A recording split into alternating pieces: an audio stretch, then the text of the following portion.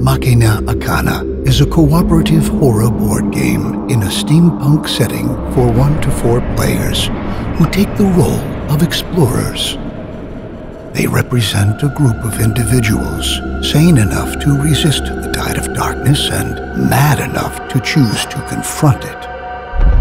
They partake in a perilous expedition within an ancient subterranean complex. Monsters, inspired by the Cthulhu mythos, await the expedition bent on nothing but eviscerating and devouring them mercilessly. Blood is shed within map tiles that grow as the area is explored.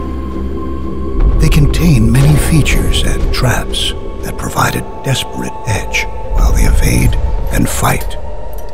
There are different types of items that can be found.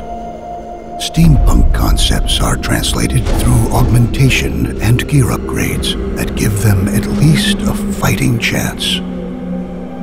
On their ominous journey, they resolve exploring events, put into place ongoing effects, and solve side quests in order to stay alive.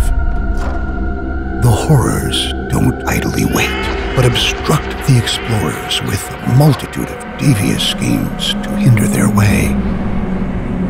The story is split into scenarios, self-contained games with chapters that must be progressed through in order to reach endgame. A conclusive battle that defines whether doom will prevail. The pieces are set, and the board awaits its contestants. Will you survive the story and hold on to sanity while the vicious hand of your innermost darkness rushes toward you? You are welcome to try.